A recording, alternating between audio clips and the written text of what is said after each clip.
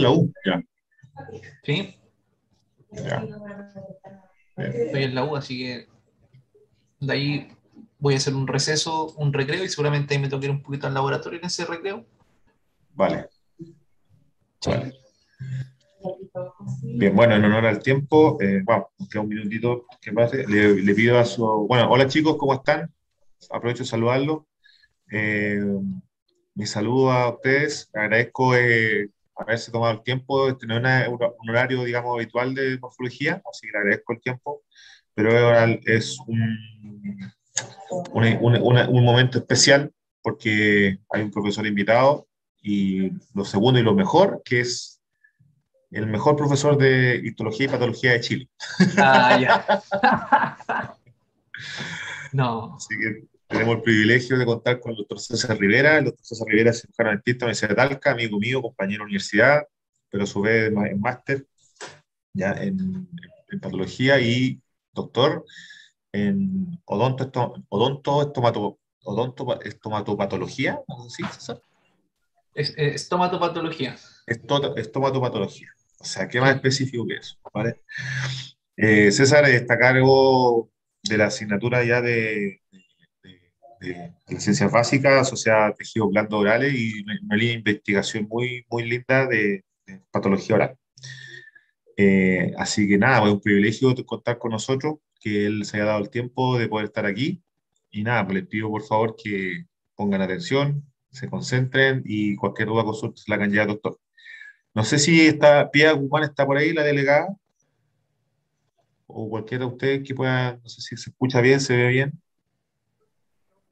Se, ve, se escucha bien. Perfecto, muchas gracias. No sé Eh, les pido como siempre que por favor, aún vemos 27 en la sala, que escriban por WhatsApp, o que, se conecten sus compañeros, ¿ya? Por favor, para comenzar la clase. Nada, eh, César, ¿cuánto tiempo tú estimas la presentación? Menos de lo que habló el diputado Naranjo, con certeza. No, yo creo. El- los dos bloques, eh, ahí de- depende de lo que vamos conversando con los chiquillos también. Pero, Perfecto. pero ¿cuánto hay de tiempo? ¿Son dos bloques de 45? Una cosa así. Sí, sí. Originalmente eran de el día lunes de 8 días a 11 y media, pero Ah, son dos. dos bloques Ah, de ya. 40, dos bloques de 40 Sí. minutos. Sí, lo- los propósitos de esto, como dice ahí la morfología de la mucosa, es ver conceptos morfológicos y los chicos tienen práctico de esto el próximo, próximo jueves, así que tienen que estar atentos. Práctico Eh, presencial, entonces. ¿Es presencial? No, online, todo online. Online. Tienen, hay un atlas de tejido blando donde lo usan ahí. Ah, Bien, pues César, te dejo ahí a los chicos, ¿ya? Les pido a los estudiantes que, como digo, nuevamente agradezco el tiempo y aprovechen a este tremendo profesor que se dio su tiempo para compartir sus conocimientos con nosotros. Ojalá que el otro año sea presencial. De seguro, para cumplir el, el bono Kutzman. Ya chicos, nos vemos. Nos vemos, Pedro. Gracias por la invitación. Bien. Entonces, confirmado que se ve, se ve y se escucha, ¿cierto? Eh, les voy, voy a dar comienzo a esta sesión de, de la histología y, y- y territorios de la, de la mucosa, de la mucosa oral. Esta clase yo la vengo haciendo hace algún tiempo acá en la universidad y también Pedro me ha invitado a algunas sesiones. En, en un inicio, esto está dividido en mucosa oral 1 y mucosa oral 2. Ah, sí, podría. Y en mucosa, mucosa oral 1 y 2, la segunda parte, que es más, eh, es más cortita. y en esa, y en esa sesión yo hago que los estudiantes se puedan examinar, que puedan ver las cosas eh, que les estoy mostrando en la clase. Entonces, y ahí llevamos una- unos palitos, tipo unos palitos de lado, guantes, y, los compañeros y las compañeras se van examinando, viendo y definiendo los territorios que- de los que estamos conversando. Así que la idea es que, de alguna forma, ustedes también pueden autoexaminarse si, si ustedes tienen un espejo en la casa, o bien con el celular y la función selfie o espejo, eh, pudieran ustedes establecer también eh, los territorios que les voy a mostrar, les voy a mostrar aquí. Y esos territorios son importantes porque cuando nosotros describimos las cosas de la clínica en nuestros pacientes, eh, llamamos a, a, esos territorios. Cuando tenemos que derivar a, a, un paciente, a un colega, o pedir un examen complementario, como puede ser eh, eh, nosotros solicitamos e informamos dónde está el lugar que queremos examinar. Y entonces para eso llamamos ¿cierto? Hacemos referencia en esa hoja de derivación o de interconsulta o de solicitud de examen al territorio que queremos eh, explorar con más detalle. Y la forma que el colega se entera entonces es eh, leyendo su mensaje y entendiendo qué es lo que ustedes pretenden. Cuando uno habla de, de dientes, eh, es más fácil pedir un examen o una radiografía. Pero cuando uno habla de mucosa, o tipo de mucosa a veces un poco más complicado porque habitualmente en la clínica los colegas van olvidando los conceptos o las variaciones de normalidad de las estructuras orales y, y se hace difícil conversar de, de, mucosa, de cosas que no, que no son dientes, eh, la verdad. Así que pretendo de que esto esta clase la puedan guardar por ahí o la puedan reconsultar. Eh, yo tengo un proyecto de estomatitis aftosa recurrente, que conocemos más comúnmente em, como AFTAS, y felizmente estudiantes que han derivado pacientes, estudiantes de primer y segundo año, han utilizado terminología, ¿cierto? Que eh, corresponde a terminología no coloquial, corresponde a terminología profesional. Y, y entonces puedo ver que esa, esta clase sí ha impactado eh, en esas, eh, en esa referencia, en esas derivaciones. ¿ya? Así que la idea es que quede todo claro. No es mucho el contenido, vamos a ir redondeando algunas cosas y les pido que si tienen dudas, habiliten su micrófono, también escriban por el chat, voy a estar atento eh, a las dos cosas. Bien. Entonces, los contenidos de hoy son primero una introducción de qué es la mucosa oral o sus funciones, después la organización histológica de la mucosa oral, los tipos de mucosa de acuerdo a su función, eh, algunos agregados de tejido, eh, de tejido asociado al sistema inmunológico, como es el tejido linfoide, órganos y tejidos secundarios aquí asociados a la cavidad oral, y eh, algunos límites que podemos establecer clínicamente de la mucosa. ¿ya? Así que primero decirles que, qué es la mucosa. Y aquí brilla, está brillando, ¿cierto? Podríamos decir que es todo lo que a la vista y el examen odontológico no es diente. Sacamos diente de aquí y nos queda mucosa. Y la mucosa es un tejido húmedo que recubre toda la cavidad oral y rodea los dientes. La mucosa entonces da la plataforma territorial para las cosas que ocurren dentro de la boca. La mucosa oral que comunica ¿cierto? la cavidad oral con el medio exterior y también con la continuidad del de, eh, aparato digestivo. Está sujeta a estímulos que vienen desde fuera, como podrían ser los alimentos, como podrían ser eh, encontrarnos con virus que afectan al epitelio y también con eh, estímulos intrínsecos que vienen desde, por ejemplo, la propia cavidad oral, como podría ser eh, el microbioma, las dinámicas cambiantes de los microorganismos, virus o hongos que están presentes en esta región, o también el monitoreamiento que hace el sistema inmunológico para inducir o gatillar una respuesta que va a tener una expresión inicial en la cavidad oral, cosa de la que igual no se tiene mucha noción clínica o no se habla mucho en clínica, pero la cavidad oral es un sitio tanto de inducción como también de una, una respuesta inmunitaria permanente. Esta, es la, esta es la mucosa oral entonces. Y básicamente la mucosa oral tiene cinco funciones. La más obvia, de protección.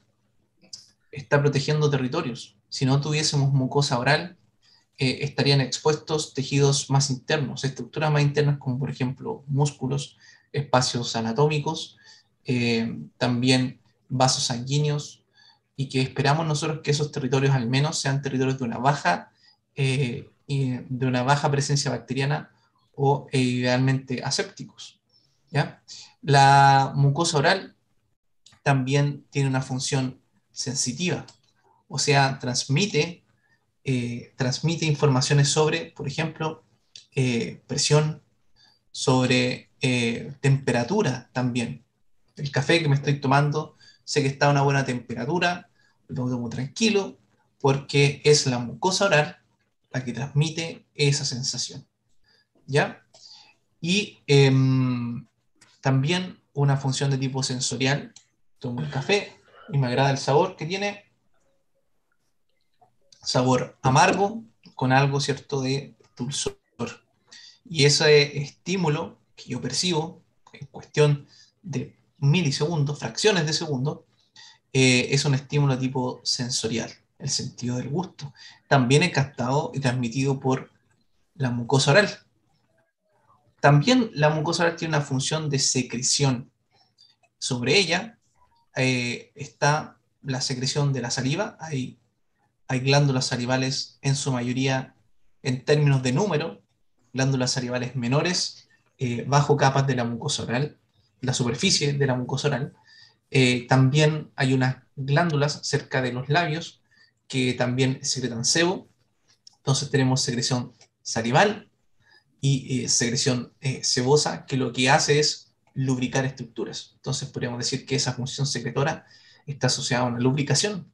Pero también y en particularmente en la saliva, podríamos decir que la saliva tiene una función digestiva porque tiene enzimas que van a degradar alimentos, también tiene péptidos antimicrobianos, tiene moléculas de señalización. Entonces, lo dejamos en términos generales como una función secretora, pero esa función secretora que ocurre en la mucosa oral tiene también subfunciones, especificidades.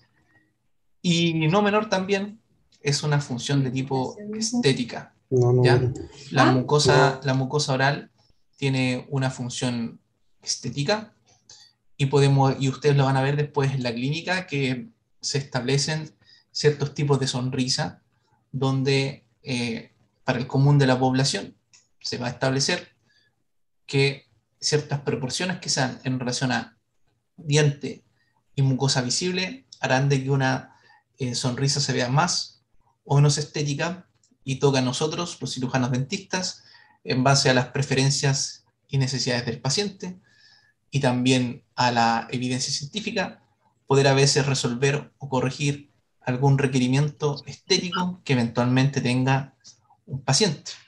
¿Ya? Entonces estas son las cinco funciones de la mucosa oral. Y si nosotros vemos esta fotografía donde estamos viendo la mucosa oral, nosotros podríamos hacer una incisión, podríamos ir con una, aguja, por ejemplo, perforando, y nos vamos a encontrar con diferentes cosas desde la superficie del epitelio hasta el hueso. Nos vamos a encontrar con hueso. Entonces, ¿qué va pasando? ¿Cierto? Esa aguja, que podría ser una aguja donde vamos a colocar cierto eh, anestesia, realizar una técnica anestésica, ¿con qué se va a encontrar la aguja? ¿Con qué nos encontraríamos si vamos de la superficie hacia el interior? Evidentemente, con lo que nos vamos a encontrar primero una mucosa humectada es una película, es una película salival, que está, eh, eh, está contenida sobre la mucosa y eh, como tiene como constituyente eh, muy importante para la lubricación y la protección eh, diferentes tipos de proteínas conocidas como mucinas. ¿ya? Entonces, esta, esta secreción mucosa le da esta viscosidad a la saliva y eso le permite a ella adherirse sobre territorios que, donde hay una alta movilidad. Y bajo ella ya nos vamos a encontrar con la célula epitelial de la mucosa oral, que es el queratinocito. Entonces nos vamos a encontrar primero con un epitelio y vamos a ir profundizando en aquello. Entonces lo primero que nos encontramos en la mucosa es un epitelio, que son células, células epiteliales, o sea, células que están pegadas unas al lado de la otra. Eso es básicamente un epitelio. Y bajo eh, las células vamos a encontrarnos con una región que se llama lámina propia, y bajo esa lámina propia con la submucosa. Esto en términos generales es eh, la estructura de la mucosa oral. Entonces, eh, ¿cómo es la organización histológica de la, mucosa oral? Si hacemos un corte histológico desde la superficie, acá dice epitelio, entonces sobre ese epitelio estaría la, la saliva. Ya que tenemos bajo ella, primero que todo, saber qué es el epitelio, es un epitelio estratificado de tipo plano. O sea, la primera capa de células de ese epitelio son células escamosas, son células planas. Y decimos estratificado porque hay múltiples células. Si nosotros rascamos la mucosa o rascamos la piel, nos encontramos nuevamente con una capa de células epiteliales, queratinocitos.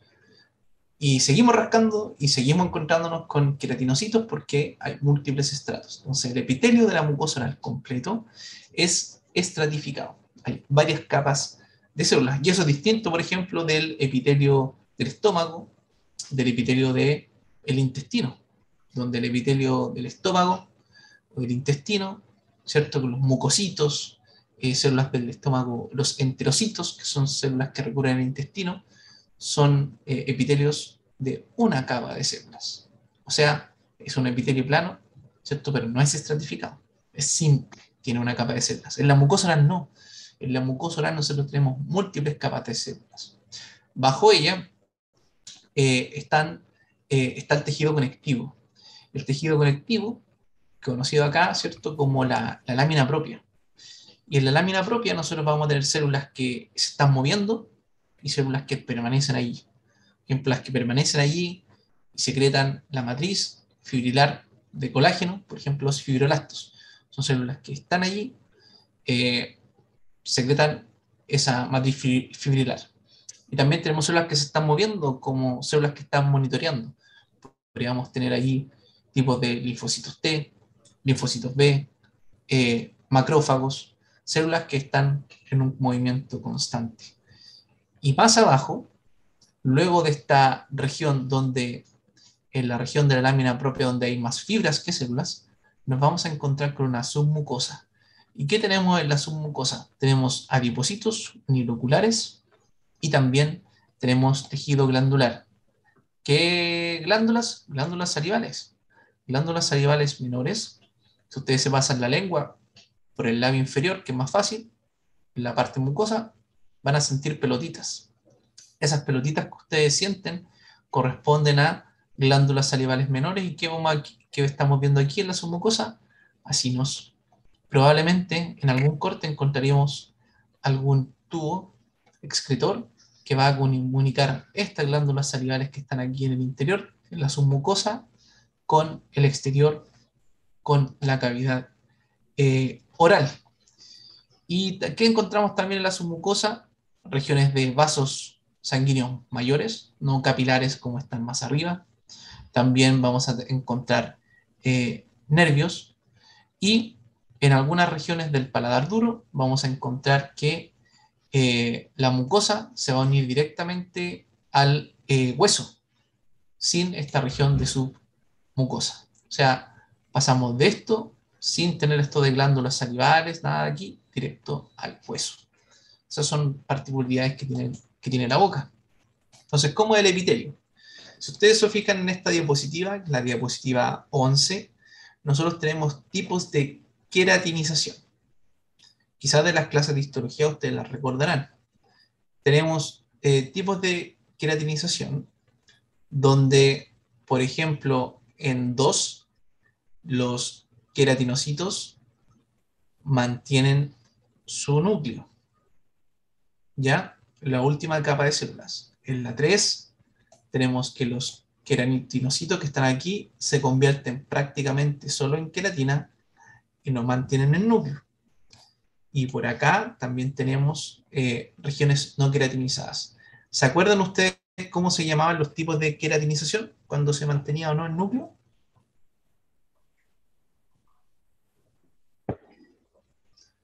¿Alguno de ustedes recordará los tipos de queratinización?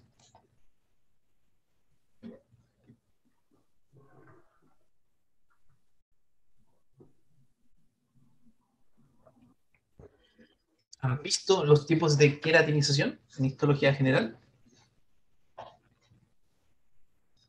¿Qué me dice Veo por aquí a Patrick Fernández. Patrick, ¿estás por ahí?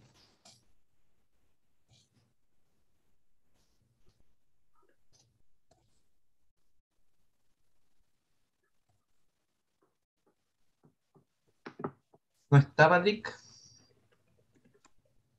Entonces, aprovecho aquí otros nombres. Estoy viendo a Carlos Laurín. Carlos, ¿vieron los tipos de queratinización o es algo que todavía no han visto, no han pasado? Solo para hacer cierto énfasis. Eh, yo no los recuerdo, la verdad.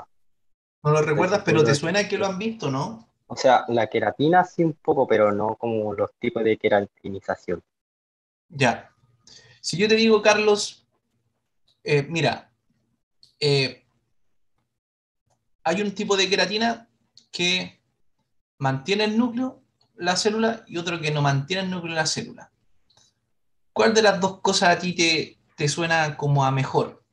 ¿Mantener o no el núcleo? Si fuera una célula, ¿tú quieres mantener tu núcleo o no lo quieres mantener? Pues mantenerlo. Eh, ya, mantenerlo. Ok. Entonces, tenemos, yo ya te conté, tenemos una que mantiene el núcleo, otra que no lo mantiene. Si ahora yo te voy a decir dos prefijos de raíz greco-latina, para y orto, ¿cuál de los dos te suena a una palabra peor? Para u orto.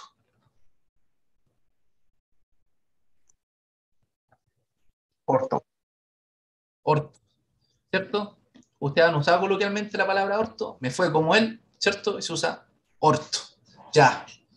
Entonces, tú, Carlos, dijiste, la, la célula quiere mantener su núcleo. Tienes la paraqueratinización y la ortoqueratinización. Entonces, la que mantiene el núcleo será la paraqueratinización o la ortoqueratinización. A ver, con esa relación. ¿Qué crees tú, Carlos? La paraqueratinización. Eso. La célula mantiene el núcleo paraqueratinizado. La célula no mantiene el núcleo ortoqueratinizado. Tal cual, esos son los tipos de queratinización. Y entonces, en la, en la boca, en la cavidad oral, nosotros tenemos territorios que tienen queratina y territorios que no tienen queratina. La cosa aquí es por qué el queratinocito dice voy a secretar queratina y en otros territorios dice no voy a secretar queratina. Eso tiene que ver con la protección. Entonces hay regiones de la cavidad oral donde hay queratina y regiones donde no hay queratina y es por una cuestión funcional. Ahora, cuando hay territorios de la boca donde hay queratina, nosotros vamos a decir es el epitelio oral estratificado plano, ese es el nombre completo del, eh, del epitelio de la mucosa oral, y le vamos a agregar el queratinizado. Y entonces el grosor de un territorio donde tuviese queratina, ya sea ortoqueratinizado, o sea, no hay núcleos en el, en el último estrato, o paraqueratinizado, o sea, hay núcleos, ¿ya? En el, en el, estrato, en el estrato córneo, donde está la queratina, eh, los eh, los estratos de estas regiones van desde afuera hacia adentro y se llaman córneo, granuloso, espinoso y basal. Córneo, granuloso, espinoso y basal. Basal, que está en la base, en el origen de los queratinocitos. Aquí está la capa proliferativa, donde estoy pasando el cursor. Y hacia arriba van eh, moviéndose los queratinocitos van sufriendo unos procesos que diría yo podríamos decir de maduración, donde finalmente estos queratinocitos lo que quieren convertirse aquí es en queratina y descamarse. Y ahí están los diferentes estratos, en los estratos donde hay queratina. Y en territorios donde no hay queratina, ¿ya? Los, números de, los nombres de los estratos cambian. Y el, estrato de, el, el estrato de más afuera no se llama córneo, se llama superficial. Después viene el estrato intermedio, un estrato espinoso y basal. O sea, entre queratinizado y no queratinizado en común, tenemos el estrato basal y el estrato espinoso. ¿Ya? La diferencia está entre los primeros dos estratos. granuloso, donde los queratinocitos se van llenando de gránulos de queratoyalina para convertirse en el córneo en células llenas de queratina y descamarse, o sea, irse de ahí. ¿Ya? Y en cambio, en, estos dos no tenemos esos estratos granuloso ni eh, córneo. ¿Ya? Este es un epitelio de tipo no queratinizado. Hay territorios de la boca donde, la cavidad oral, donde hay queratina y donde no hay queratina. Y el estrato espinoso recibe su nombre por unas estructuras que unen una célula y otra. Aquí tenemos eh, un aumento, ¿cierto?, de, eh, de la imagen, donde podemos observar que se ven unas líneas entre los queratinocitos. ¿Ya? Esta es una fotografía de la colega Mariana Villarroel de Venezuela, y eh, cuando se hace el procesamiento histológico de los cortes, lo que nosotros nos encontramos es con, en un estrato con estas pintitas. Y esas pintitas se llaman desmosomas, ¿ya? Está lleno, ese estrato es como si estuviera lleno lleno de espinas, por eso se llama espinoso. ¿Y qué es eh, un desmosoma? lo que, representa el desmosoma es un abrazo celular. Es un verdadero bracitos, brazos que van de una célula a otra. Y entonces esos son los desmosomas. Eso es lo que nos está mostrando, lo que nos estaba mostrando la imagen anterior. Estas, eh, pelitos son desmosomas que representan un verdadero abrazo celular y lo que adhiere a la primera capa de células, a la membrana basal, es la mitad de un desmosoma que se conoce como hemidesmosoma. ¿Por qué les muestro esto y les hago hincapié? Porque hay un tipo de enfermedades eh, autoinmunológicas donde va a haber una reacción contra esta región de aquí que se llaman desmosomas y contra esta región de acá que se llama hemidesmosomas. Y nuestros pacientes presentan ulceraciones orales por eso. Esas enfermedades se llaman pénfigo y penfigoide y ustedes las van a conocer en patología oral. Pero ¿a quién quiere atacar? A los desmosomas y a los hemidesmosomas. En la primera capa de células, la más interna, en la región basal, están donde nacen los queratinocitos. ¿Ya? ¿Y qué hay en esa capa? Hay células madre, que nosotros esperamos, para no tener cáncer oral, de que la célula haga mitosis libre de errores. Y esa célula madre, cuando se divide, genera dos células, otra célula madre y una célula que se llama amplificadora transitoria. Esa célula amplificadora transitoria tiene una gran capacidad proliferativa y es la mamá de todos los queratinocitos que están allí. ¿ya? La célula madre genera dos hijas, otra célula madre, que sería una célula ¿cierto? de resguardo, que estaría allí para seguir originando células que van a dar origen a los queratinocitos.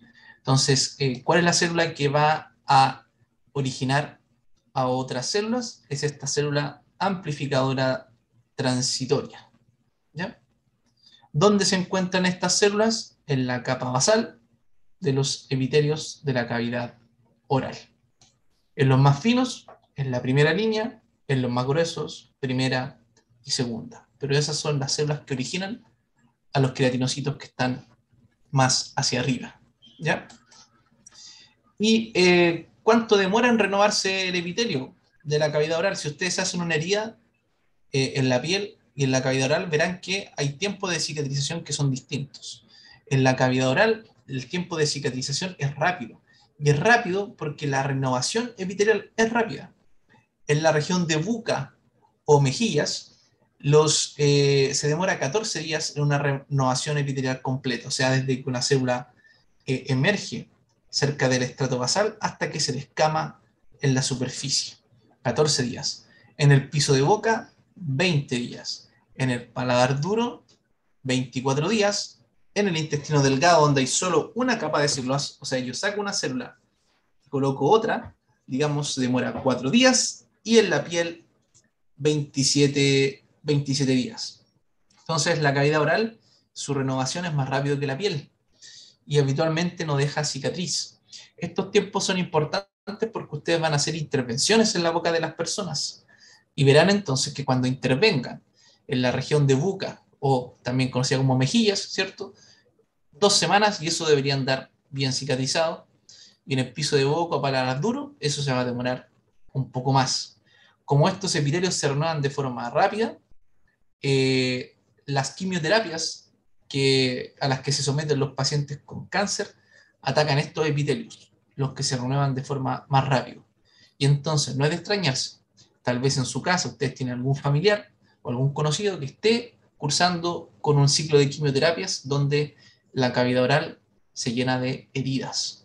Y eso es porque los quimioterápicos afectan a las células que tienen una renovación más rápida. ¿Por qué? Porque quienes tienen esa renovación rápida también son las células que producen los cánceres.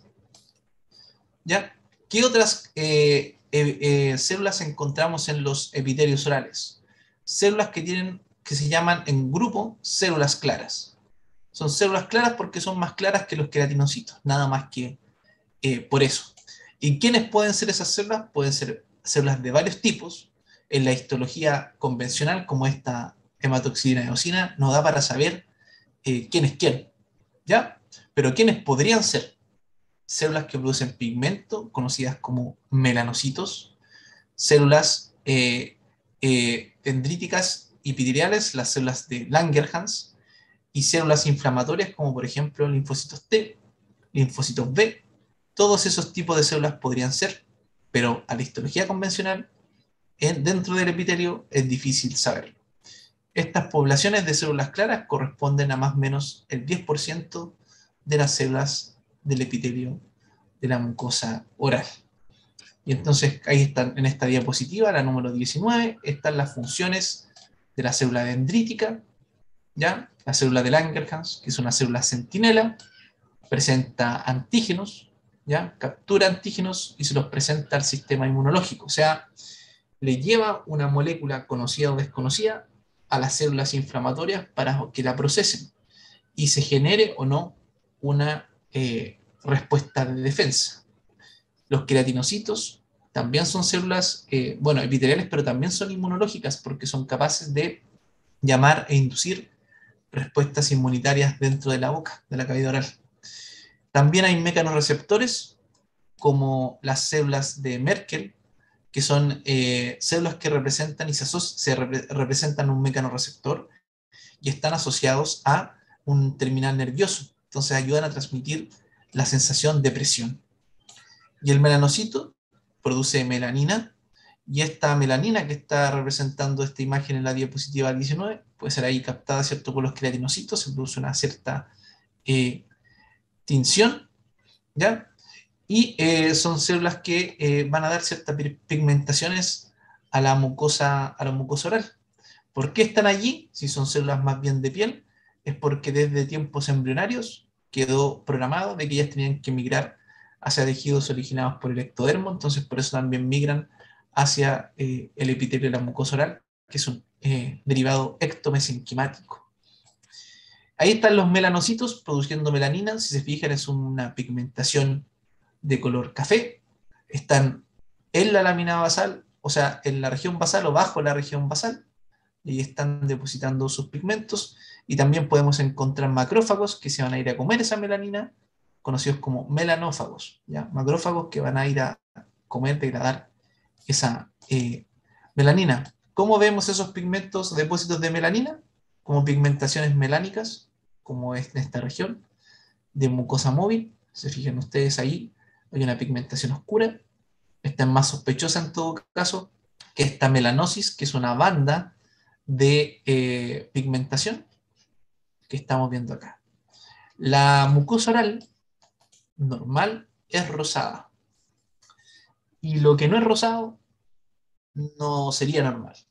Por lo tanto, al encontrarnos con eh, estas pigmentaciones, sobre todo la de la primera imagen, deberíamos tener ciertas sospechas y derivar a un colega que sepa de patología de medicina oral para que examine la lesión, que eventualmente va a realizar una biopsia y va a mirar al microscopio para ver qué se encuentra, porque eh, muchas pigmentaciones oscuras de la cavidad oral corresponden a eh, cánceres que se llaman melanoma, ¿ya? que son bastante agresivos. Entonces, ojo con esas pigmentaciones. Y después, bajo el, el epitelio, y antes de llegar al conectivo, vamos a tener el lugar donde se asientan las células del estrato basal, las que dan origen a los queratinocitos. Se asientan en un lugar conocida como membrana basal. Y la membrana basal tiene dos regiones, una que mira hacia la célula y otra que mira hacia el tejido conectivo que está más abajo. La lámina dúcida y la lámina densa. Como ya les contaba, hay unas enfermedades inmunitarias que eh, vienen a eh, eh, atacar regiones de, en este caso, la membrana basal, que es el hemidesmosoma, como el pénfigo Y el pénfigo va a dañar las estructuras de, que se encuentran entre célula y célula. El colágeno principal de la membrana basal es el colágeno tipo 4, y esa membrana basal y ese colágeno es un lugar que es degradado por las células que producen el cáncer oral, que se, origina el cáncer más arriba de esa región, las células avanzan y destruyen eh, esa membrana para poder eh, extenderse. En el chat me dice Sofía Oporto, doctor, ¿eso puede ser cáncer? Ah, tenía que esperar más la explicación. Ya, exactamente. Justo Sofía no, no era cáncer, pero hay que desconfiar de esas pigmentaciones. ¿ya? A veces simplemente un paciente se mordió y lo que estamos viendo ahí es más que nada un hematoma o un coágulo producto de aquello y en un par de semanas eso no debería estar. Eh, ¿Y qué hay en el tejido conectivo? Entonces tenemos las células primero y después viene el conectivo que está abajo. Se fijan, hay mayor cantidad de fibras que células. Ahí yo estoy seguro y una región rosada en la hematoxinosina, estoy en el conectivo. Y entonces eh, la lámina propia es la región que está bajo el epitelio. Y hay dos regiones, una que está entre medio de eh, estas prolongaciones del epitelio, que se llama lámina propia papilar. ¿Por qué se llama lámina propia papilar? Porque se encuentra entre las crestas o eh, crestas eh, epiteliales. Y esto le da origen entonces a las papilas conectivas. Más que nada, las crestas epiteliales son, si mi mano es el epitelio, ¿ya? Él se quiere anclar al conectivo para que no se despegue tan fácil. Entonces se ancla con esta forma de crestas epiteliales. Entonces, esta otra mano que tengo yo acá representa el tejido conectivo y va a permitir que se enganche, ¿cierto? Se adhiera. Y eso va a permitir una mejor adhesión, hay una mayor superficie de adhesión. Eh, entonces esa es la lámina propia papilar o la papila conectiva, está entre las crestas epiteliales que son estos dedos. ¿Ya? La lámina propia papilar, más abajo, la que no está asociada con el epitelio es la lámina propia reticular, que es más rica en fibras reticulares, fibras conágenas, porque la lámina propia papilar es más rica en células. Aquí hay células inflamatorias monitoreando lo que está ocurriendo en el epitelio más arriba. Y entonces fíjense aquí, yo le estoy dando dos términos que les voy a explicar un poquito más adelante. Mucosa masticatoria y mucosa de revestimiento. En la boca, en la cavidad oral, hay tres tipos de mucosa. Aquí estamos haciendo eh, énfasis, estoy haciendo énfasis a los dos tipos más importantes, o en términos de territorio, los dos tipos más importantes en términos de extensión territorial. Entonces, la mucosa masticatoria y la mucosa de revestimiento, ambas están cubiertas por epitelio. Ambas tienen lámina propia. La mucosa de revestimiento, la lámina propia es mucho más grande que la, y la mucosa masticatoria es una lámina propia más pequeña. En la mucosa masticatoria, bajo la lámina propia, tengo hueso. En cambio, en la mucosa de revestimiento, bajo la lámina propia, tengo submucosa. Entonces, la mucosa de revestimiento tiene epitelio, lámina propia y submucosa. La mucosa masticatoria tiene epitelio, lámina propia y hueso. Ese es un buen contraste aquí para los dos tipos, eh, en términos de territorio, más importantes de la cavidad oral. Entonces, bajo la lámina propia viene un periósteo y inmediatamente el hueso, en el caso de la mucosa masticatoria. Y el periósteo, que es un tejido muy sensible, eh, entonces eh, explica que por qué cuando se inserta ¿cierto? una aguja para colocar anestesia en la mucosa masticatoria es más doloroso que en la mucosa de revestimiento. Porque la aguja, si se fijan ustedes, va a entrar aquí el grosor es bastante delgado, inmediatamente se encuentra con una región de periósteo y eso es doloroso. ¿ya? Aquí este, la mucosa masticatoria le hace más resistencia a una aguja que la mucosa de revestimiento, que se fijan ustedes como una esponja, es más gruesa, tiene eh, más estructuras no duras, por así decirlo. ¿Ya? ¿Y em, qué tenemos entonces en la lámina, la lámina propia? Una región de conectivo que la podemos dividir en una región de la lámina propia papilar y la lámina propia reticular y bajo ella la submucosa. Y en la submucosa lo que estamos encontrando que es eh, glándulas salivales, eh, tejido adiposo, también eh, fibras nerviosas que van a ir a inervar los territorios más ascendentes.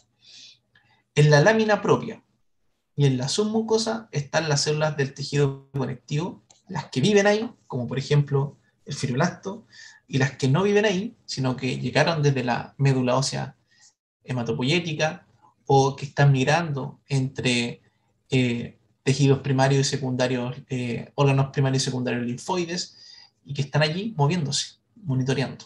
Es en esa región, bajo el epitelio, donde encontramos este tipo de eh, células.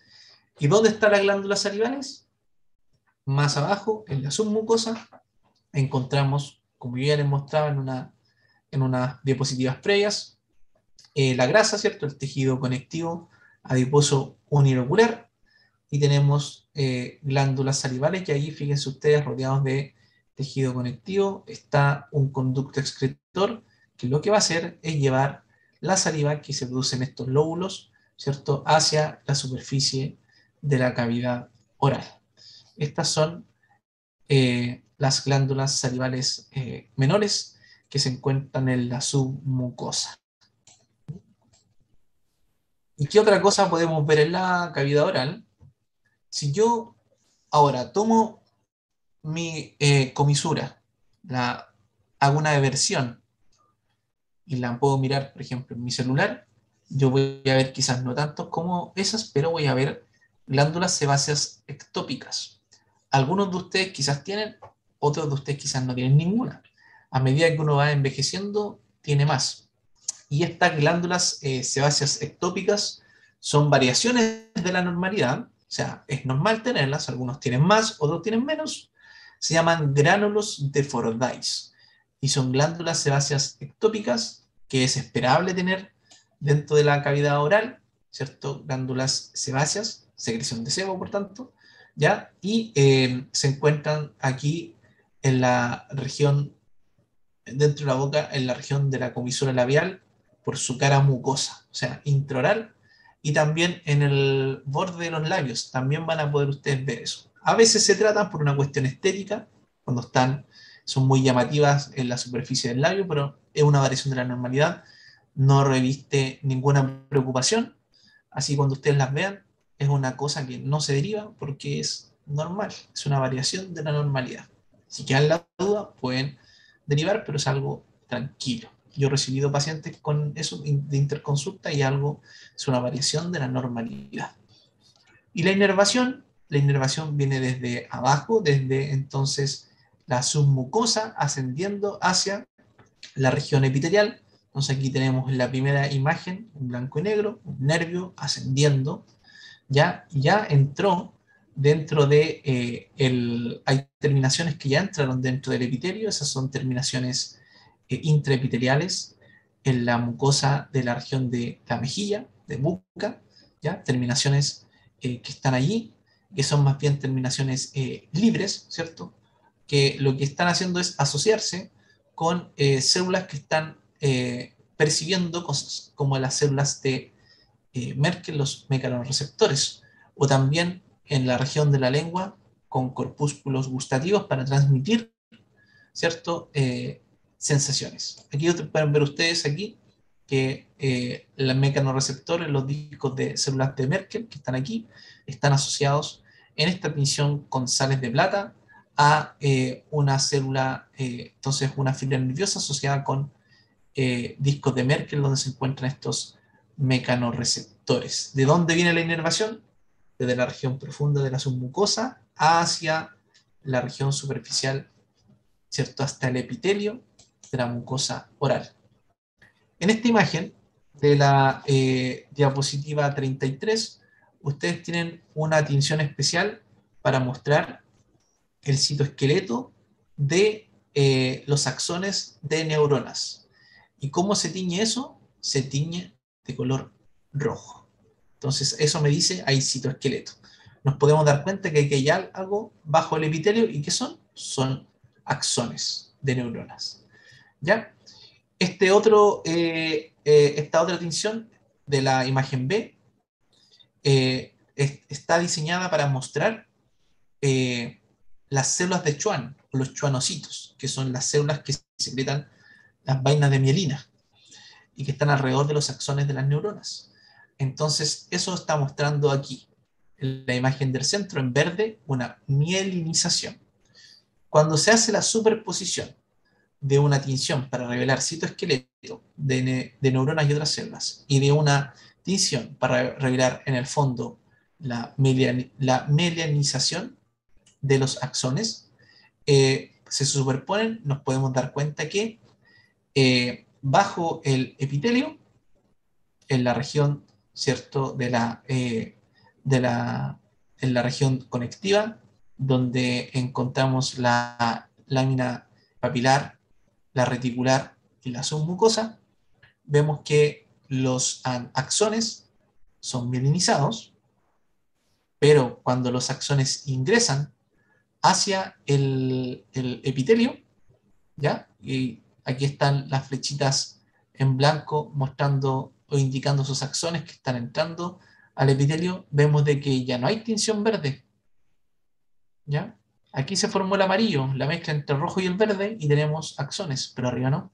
Y eso nos muestra que las inervaciones que hay en el eh, epitelio de la mucosa están sin eh, mielina. Por lo tanto, son susceptibles a ser dañadas y es lo que explicaría un trastorno que vemos en mujeres posmenopáusicas conocidas como síndrome de ocurrente, donde a las mujeres les arde la boca después de la menopausia sin eh, una eh, explicación para el origen de ese ardor. Complejo de manejar en la clínica, difícil de diagnosticar también.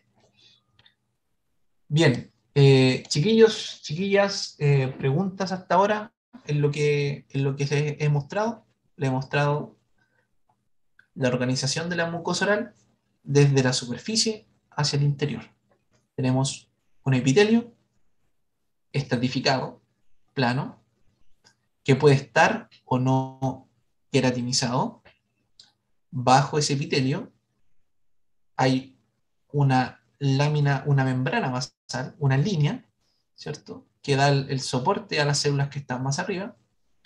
Y después bajo esa membrana basal vamos a encontrar el tejido conectivo, que protege, que eh, da nutrición a las células epiteliales que están más arriba. En ese tejido conectivo nos encontramos primero con una lámina propia. La lámina propia es una región que está cerca del epitelio y que la podemos dividir en una lámina, eh, una lámina papilar, que va a estar entre las crestas epiteliales y una lámina reticular que es más rica en fibras y menos en células.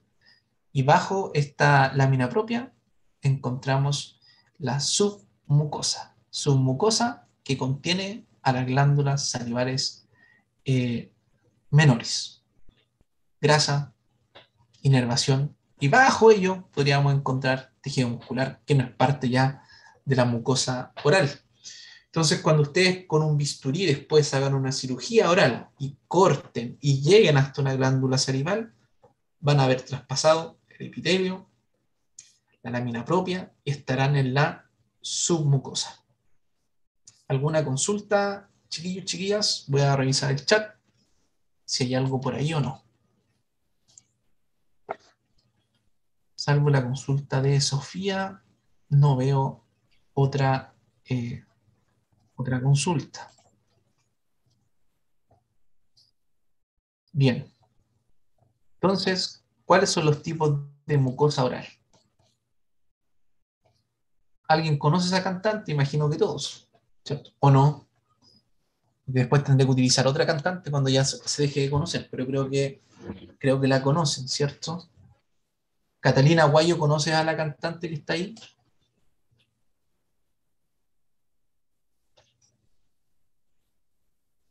Catalina Guayo Coronado, ¿estás por ahí entre nosotros? Sí, pero la verdad no la conozco. O sea, no. No. ¿No conoces a la reina del pop? ¿No? Sí, quizás puede tener que actualizar esa imagen. Bueno, la quien está cantando ahí es Madonna, ¿ya?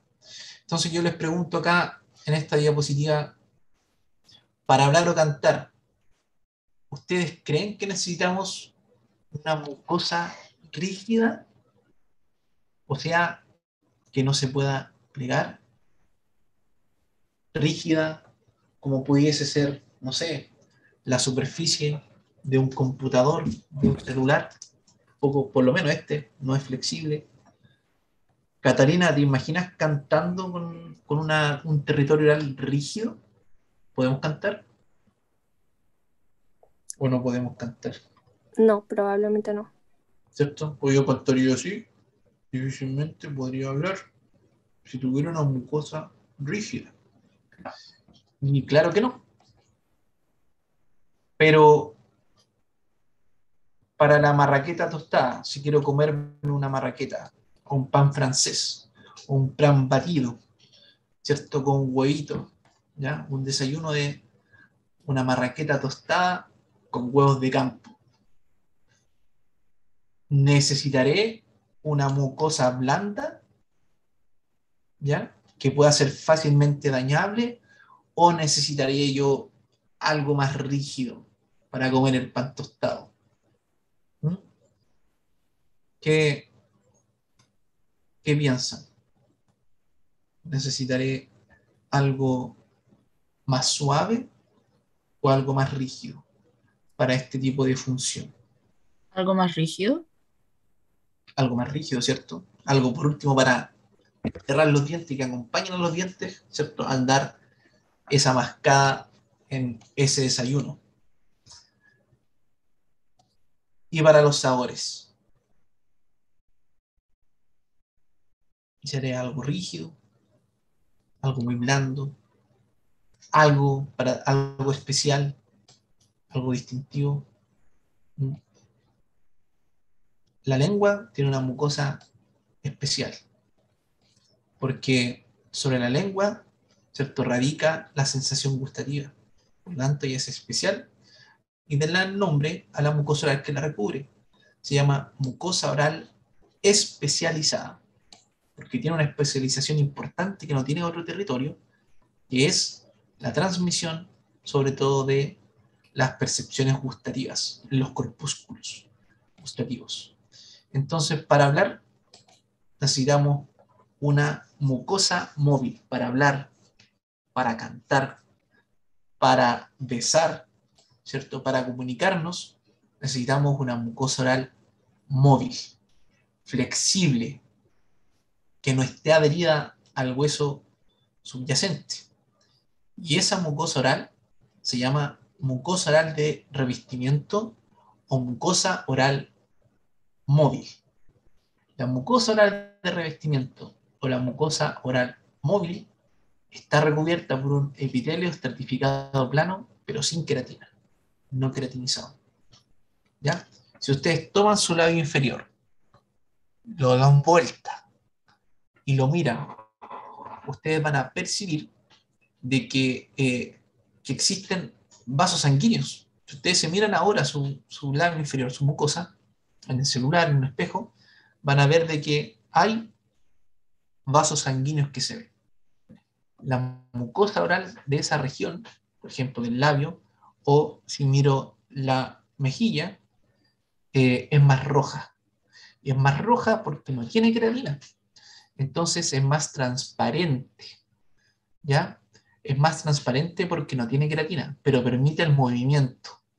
Yo puedo mover las estructuras orales, ¿cierto? Puedo hablar, puedo comunicarme, puedo cantar, ¿cierto? Como yo les contaba, puedo besar, porque hay una mucosa que es móvil. Esa mucosa que es móvil, que no tiene una, una no está cubierta de queratina, se llama mucosa oral de revestimiento. En cambio, cuando yo quiero comer el pan francés, ahí es más rígido, ¿cierto? Entonces, ¿qué estructuras podemos encontrar en la mucosa oral de revestimiento? El paladar, el paladar blando, la úvula, los pilares tonsilares están recubiertos de una mucosa oral móvil de revestimiento. A diferencia del paladar duro, no es de este tipo de mucosa oral. También la mucosa alveolar vestibular. Ustedes tienen los dientes, y tienen aquí inmediatamente bajo los dientes una región de mucosa oral que está pegada, está adherida, está fija. Pero después hay una línea en esta región donde estoy pasando el cursor y la mucosa oral de ahí para abajo se mueve. Uno lo puede mirar en el espejo, vierte de nuevo el labio, miramos los dientes y la movemos hacia los lados. Ustedes van a ver que bajo los dientes, después de esa línea que yo les mostraba, la mucosa se mueve para los lados. Pero sobre esa línea, la mucosa no se mueve. De esa línea para abajo, donde la mucosa se mueve, es mucosa de revestimiento, no está queratinizada. La región de las mejillas también es mucosa de revestimiento. Y que puede haber una queratinización, como esa línea que está ahí. Y esa queratinización se llama línea alba. es una línea blanca ¿Y por qué está ahí? Porque cuando se muerde, ¿cierto? se acerca la mandíbula al maxilar, puede rozar o tocar la mejilla, entonces la mejilla, los queratinocitos responden, y en esa región se liberan queratina, y los que tienen esta línea se llama línea alba. ¿Ya? El piso de boca, si fijan ustedes, el piso de la boca, uno mira y nota que hay vasos sanguíneos. Lo notamos porque no hay queratina en esta región. En la cara ventral de la lengua y la cara lateral de la lengua tampoco tiene queratina. Se fijan, son como las regiones más transparentes, más irrigadas. Yo puedo ver vasos, puedo ver vasos gracias a que no hay queratina. Esta es mucosa oral de revestimiento. La mucosa oral de revestimiento, entonces, sin queratina, móvil. Si ustedes se fijan, aquí hay un epitelio plano estratificado, pero sin queratina. Las crestas epiteliales son más cortitas, más anchas, son como deditos, deditos doblados. Así como si miro la mano, son dedos doblados.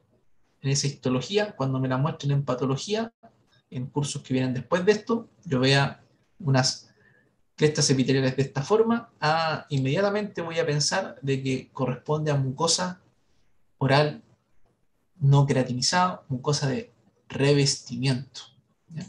Revestimiento. Ahí tienen ustedes, vean que eh, hay eh, musculatura de revestimiento, la superficie ventral de la lengua, la guatita de la lengua, y vean ustedes, la mucosa es delgada, no tiene queratina, ya lámina propia, y que viene debajo de la lámina propia, aquí, musculatura estriada, musculatura voluntaria de la lengua. Y en cambio, para la marraqueta tostada, ahí necesitamos una, una mucosa que dé protección, que acompañe la mordida, que acompañe al diente en función. Y entonces ahí necesitamos una mucosa rígida que acompañe a los dientes en la masticación, la mucosa oral masticatoria, que a diferencia de la mucosa oral de revestimiento, mm, esta sí tiene queratina. Y entonces cuando miramos los dientes, como en esta diapositiva 43, nos encontramos con que la mucosa oral es más pálida, es más clara, ya no nos permite ver los vasos sanguíneos como sí permite aquí algunas regiones debajo de esta línea que son móviles, pero ahí alrededor de los dientes es un rosado pálido. No puedo ver los vasos porque hay queratina. Miren sobre los incisivos centrales superiores e inferiores. ¿Mm? Aquí es bastante gruesa, no se ve nada de abajo. Por eso se ve blanquecina, por eso es porque hay queratina, mucosa masticatoria. Miren cómo brilla el paladar duro. Todo esto acá cubierto de queratina, las rugas palatinas. Queratina también. Esto es mucosa masticatoria. Ya esta mucosa masticatoria está unida fuertemente al hueso subyacente. Las regiones de la mucosa masticatoria, para poner anestesia, es más doloroso que para poner en regiones más blandas, porque le hacen mayor resistencia a la aguja de la anestesia. Entonces la mucosa del paladar, la mucosa de alrededor de los dientes se llama mucosa de tipo masticatoria. ¿Y qué tiene la mucosa masticatoria? Es un epitelio, de nuevo, plano, estratificado, pero aquí hay queratina. Como hay mayores fuerzas ¿cierto? de masticación, aquí eh, las crestas epiteliales son largas y numerosas no como los deditos achatados de la mucosa de revestimiento. Eh, la lámina propia es un mucoperiostio. ¿Por qué? Porque la lámina propia se une esta región que viene acá abajo a el periostio. Se continúa con el periostio del hueso. En términos generales, en la mucosa masticatoria no hay submucosa y en términos generales, el, ¿cierto? Por cierto, en la mucosa de revestimiento, si hay submucosa, pensemos que es la región donde están las glándulas salivales, y en casi toda la mucosa masticatoria eh, no hay submucosa, salvo en regiones del paladar, donde eh, la excepción es la mucosa oral que está alrededor de los dientes. En esa zona hay una excepción y ahí sí encontramos submucosa. Y en esas regiones de submucosa, del paladar duro, vamos a encontrar capas de tejido submucoso que puede tener glándulas salivares hacia la región posterior del paladar y eh, adipocitos hacia la región anterior del paladar. En términos generales, salvo en esta región gingival del paladar, la eh, mucosa masticatoria no tiene submucosa. ¿ya? Estas características permiten de que la mucosa oral de esta región pueda ser desinsertada y levantada para que los colegas tengan acceso a eh, regiones que se encuentran bajo la mucosa masticatoria y que quieran intervenir, como por ejemplo alguna regularización de un hueso, como por ejemplo la eh, colocación de implantes o la realización de eh, biopsias intraóseas. Y para los sabores, ahí la lengua es especial y el nombre de esta es mucosa oral especializada. Y la mucosa eh, de la lengua tiene cuatro tipos de proyecciones superficiales que conocemos como las papilas, las papilas linguales. Tres de los cuatro tipos de papilas linguales tienen receptores gustativos. Y como tienen receptores gustativos, se llaman papilas gustativas. Un tipo de papila no tiene receptor gustativo y el resto tiene eh, receptores. ¿Cuáles son los tipos de papilas linguales? ¿Ya? Tenemos las papilas linguales que se ven más grandes en la región posterior de la lengua, que se llaman papilas caliciformes o circunvaladas. ¿Ya? Las papilas caliciformes o circunvaladas son entre 8 a, 12 papilas que están en eh, la región más posterior de la lengua. A veces es difícil de ver. A veces están un poco irritadas y se agrandan. Hay una hiperplasia papilar.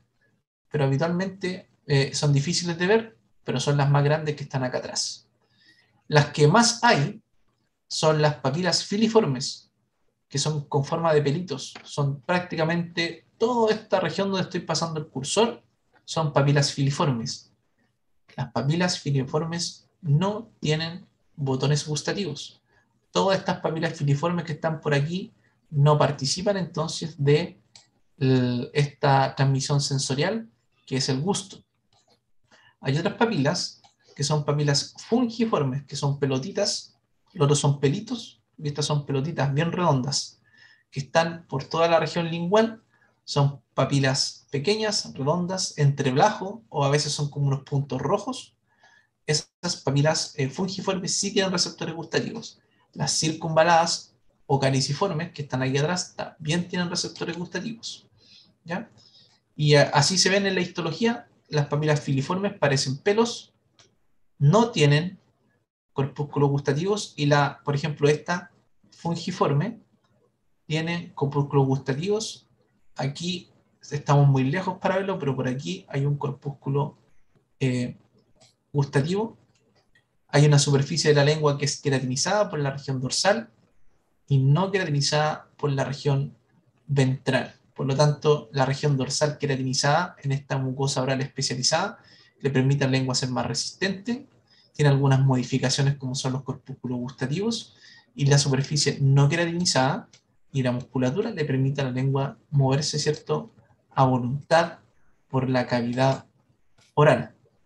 Y una papila que es habitualmente eh, motivo de consulta en la clínica son las papilas foliadas que están aquí por la región lateral y asa eh, posterior de la lengua, acá. Y estas papilas foliadas son un conjunto de superficies que están elevadas y paralelas ya eh, en la, aquí en la región dorsal y lateral de la, de la lengua. Son perpendiculares al eje mayor de la lengua y que hay en ellas hay agregados de tejido linfoide. Así que cuando hay cierta irritación bacteriana o viral, alguna, o algún cuadro, por ejemplo, infeccioso o que se puede manifestar como un resfrío, a veces estas se eh, agrandan y eh, los colegas eh, envían a los pacientes a consultar por esto. Vienen a consultar por esto. ¿Por qué? Porque esta región también se puede afectar por el cáncer, por el cáncer oral.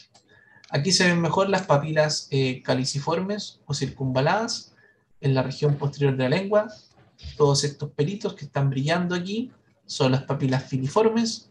Y aquí lo que estamos viendo de nuevo es una, eh, es una eh, papila de tipo caliciforme o circunvalada y alrededor de ella tenemos este corpúsculo gustativo. Aquí tiene un verdadero orificio donde entran, ¿cierto?, los eh, componentes alimenticios que van a hacer un procesamiento aquí entre el, séptimo y el noveno par para hacer una transmisión del el gusto, ¿ya? En esta región. Es una eh, mucosa especializada. Y esto antes no lo colocaba en las clases, pero después de que eh, los chiquillos empezaron a examinarse en la clase de mucosa oral, algunas veces aparecía algún compañero o compañera con esta estructura en la lengua, así que la incluyo ahora en las clases, que es la plica eh, fimbriata, que son pliegues a ambos lados de la lengua y estas quedaron desde el desarrollo embrionario ahí. Algunas personas la tienen, otras no la tienen. Esto es una variación de la normalidad. Algunos lo tienen más chiquitito, otros más grande, pero son, eh, eh, son eh, resabios de la formación embrionaria, el desarrollo de la, de la lengua. ¿Ya? Así que en términos generales, en este esquema de la diapositiva 52, tenemos la mucosa especializada, que se ubica solo en la lengua, la mucosa masticatoria en relación a los dientes y en el paladar duro, paladar duro y alrededor de los dientes, y el resto de la boca es para la mucosa de revestimiento o mucosa móvil.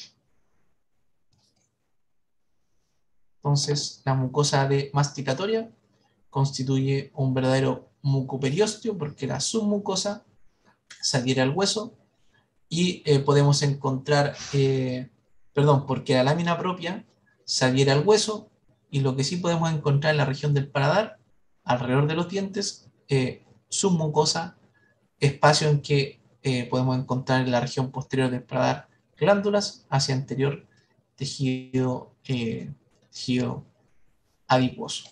Bien, yo tengo que son las 16, 12, hagamos un recreo de 15 minutos y nos reencontramos en 15 minutos, 15 minutos más. Voy a colocar el temporizador. Pero antes de eso, cuéntenme si ustedes tienen alguna consulta, alguna duda con lo que les he mostrado. ¿Mm? Hacer énfasis en que las papilas foliadas son ampliamente consultadas en la clínica pensando que son otra cosa y siendo que es una estructura normal, absolutamente normal.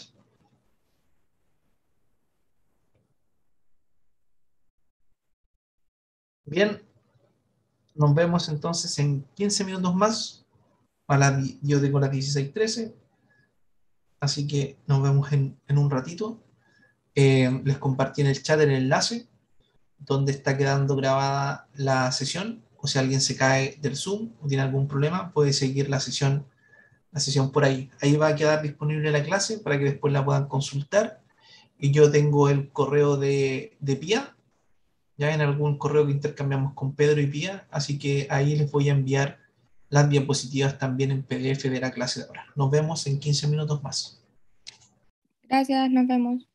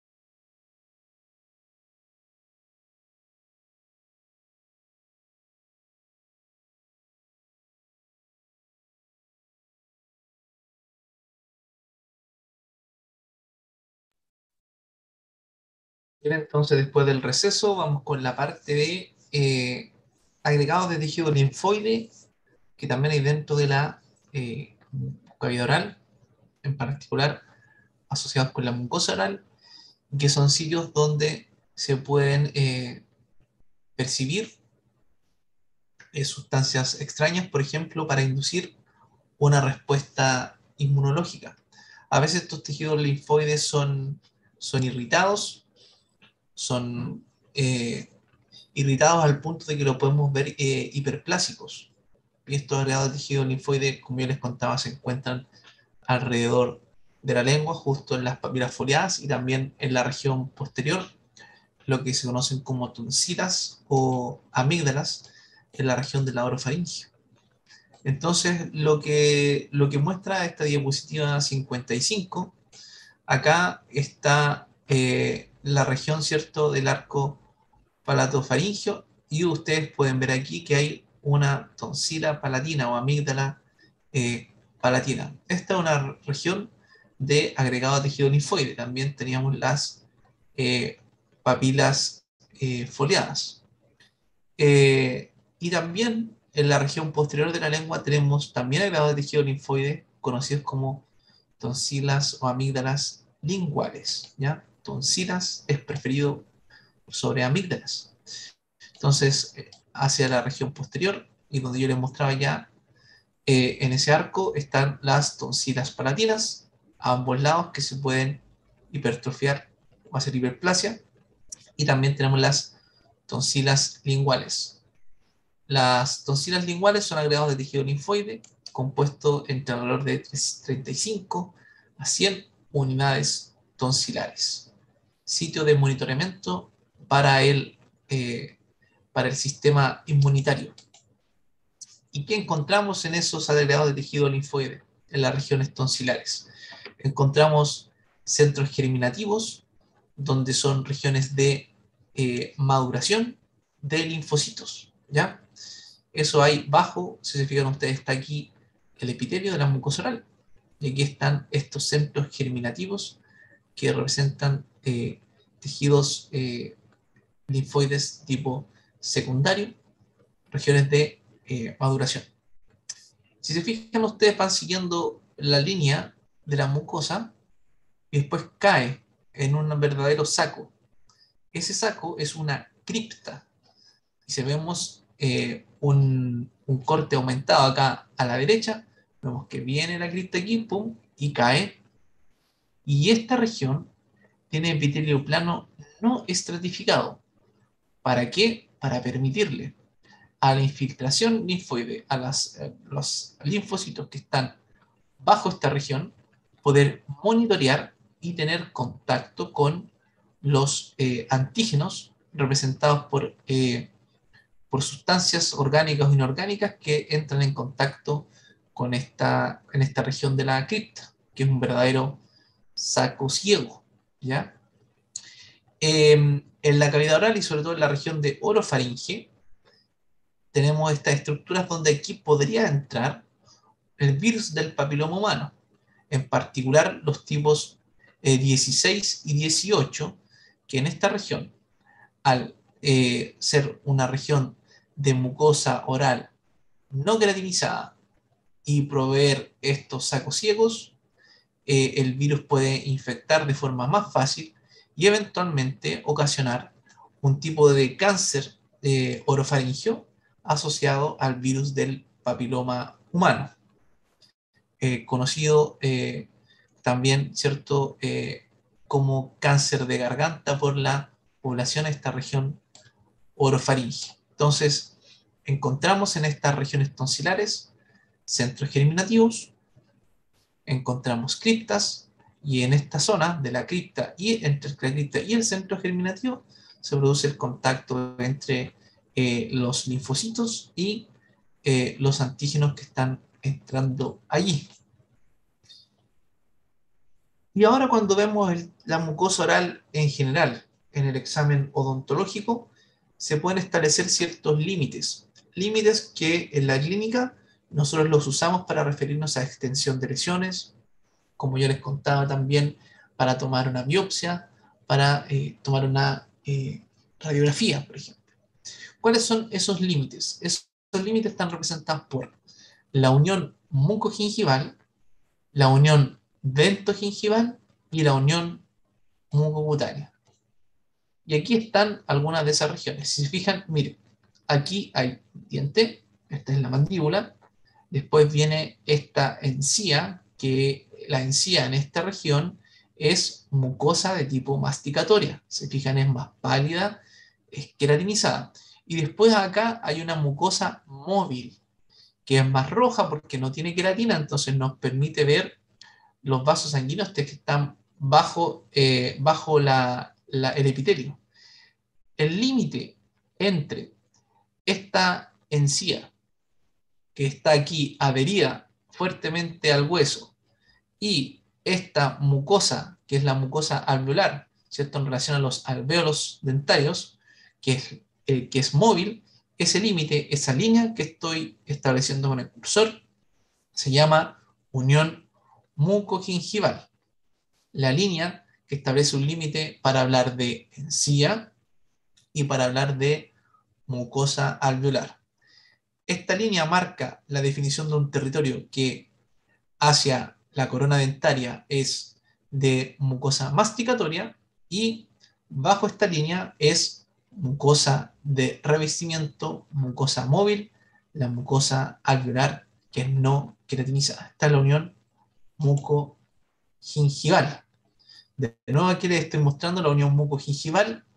Si fijan ustedes, esta es una encía fuertemente adherida al hueso, es una, eh, es una mucosa queratinizada y bajo ese límite está la mucosa alveolar no queratinizada que se ve en la imagen histológica de la derecha, la transición entre la encía, esta unión mucogingival y luego la mucosa alveolar no queratinizada.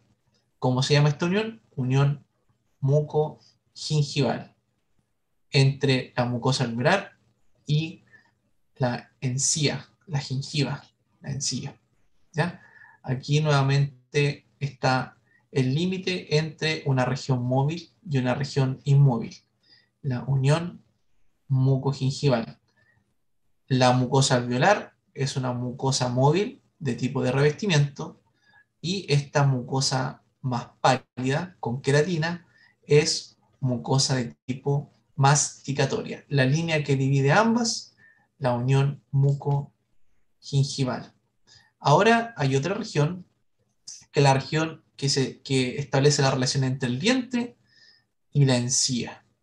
¿Ya? En la imagen B, aquí está dibujado lo que sería el esmalte del diente, porque por descalcificación en el procesamiento histológico se pierde el esmalte, pero se mantiene la dentina que es más orgánica. Entonces, la región que, donde se establece la relación entre la encía y el esmalte se llama unión dento-gingival. Es la interfase entre el epitelio de la mucosa oral y el diente. ¿Cómo se llama esa región? Unión dento-gingival. Y tiene varias subregiones, como un surco, como un epitelio que adhiere, unas fibras que ustedes van a conocer más detalladamente en un módulo, en un ramo, asignatura, que se llama periodoncia. ¿ya? Este esta región donde está este cuadro y lo que sigue alrededor de la raíz y el hueso alveolar es un territorio rico para el estudio de una especialidad ontológica que se llama periodoncia, que analiza las estructuras de soporte y sostén, de soporte, sostén y protección alrededor de los dientes. La interfase entre entonces la encía y el esmalte se llama unión dento-gingival, dento de diente, gingival de encía. Entonces, aquí se establece la relación entre eh, el diente y la encía. Este, este borde de encía no está adherido al hueso, porque aquí ya no hay hueso, aquí hay diente. Está sobre, ¿cierto?, el diente. Entonces, esto es lo que se llama encía libre.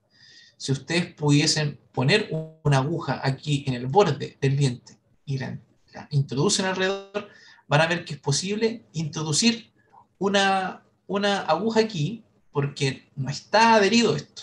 ¿ya? Esto aquí se establece un verdadero surco alrededor de los dientes que tiene alrededor de 1 a 2 milímetros. ¿ya? Es encía libre porque no está pegada.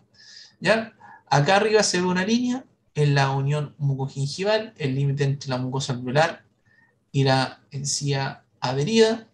¿Y cómo se llama la mucosa que está entre diente y diente? Se llama papila interdental.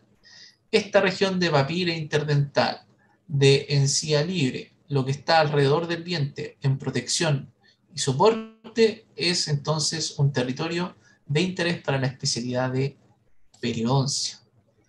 Y en el labio también hay una región de unión, porque si nosotros miramos nuestro labio, lo vertimos nuevamente, vemos que hay mucosa de revestimiento, mucosa no queratinizada, por, el, por la cara que mira hacia los dientes. El labio se ve, cierto, rojo, se ve eh, irrigado, es posible ver esas cosas.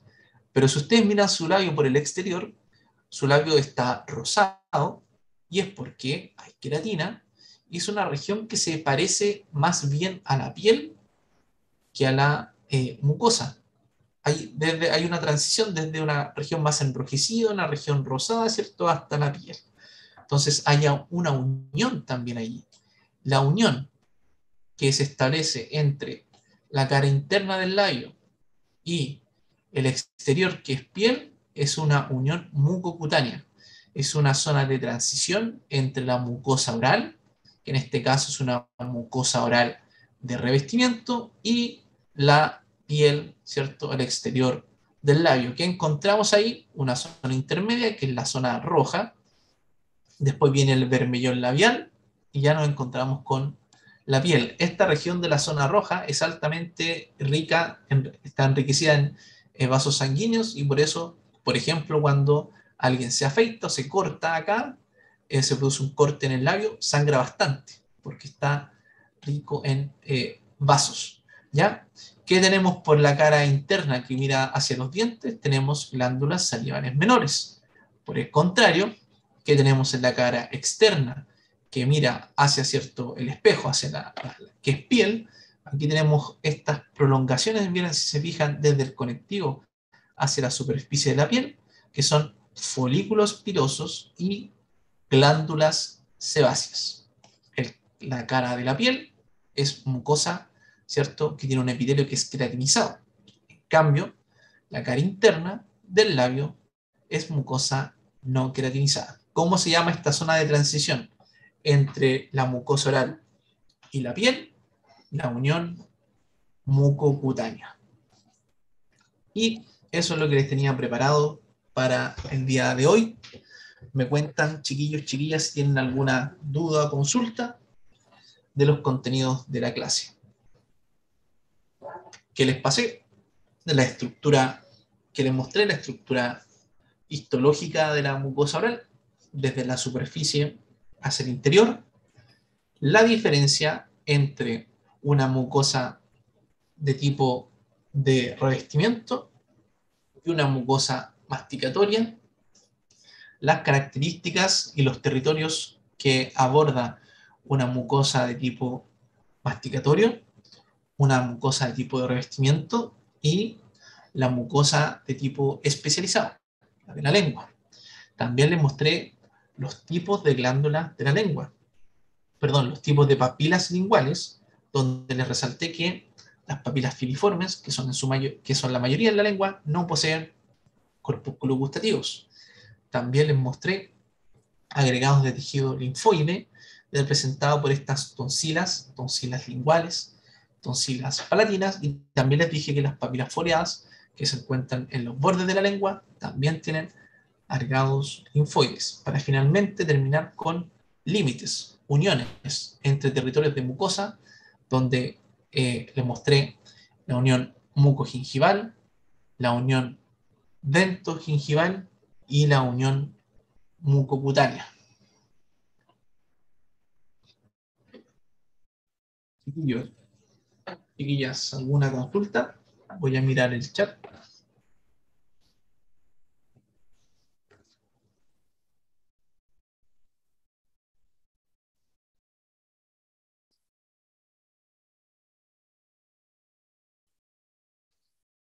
Bien, entonces con esto no habiendo preguntas en el chat y tampoco, ¿cierto? Eh, por audio, eh, les voy a compartir de nuevo el enlace de la clase. Está en YouTube. Ahí van a poder encontrar el respaldo de la sesión de hoy y les envío este enlace también junto con eh, el PDF de las diapositivas ahí a su delegada de curso y al profesor Pedro Aravena. Gracias por su atención y nos vemos en otra oportunidad. Muchas gracias, doctor. Chao, que esté bien. Chao, chiquillos, que estén bien. Que les vaya bien este Muchas gracias, doctor. Igualmente. Chao, que estén bien.